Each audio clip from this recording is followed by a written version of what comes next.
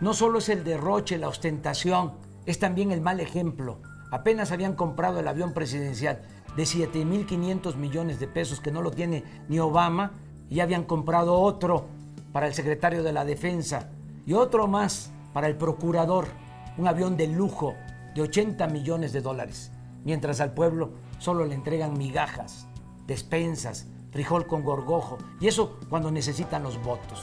Morena es la esperanza de México.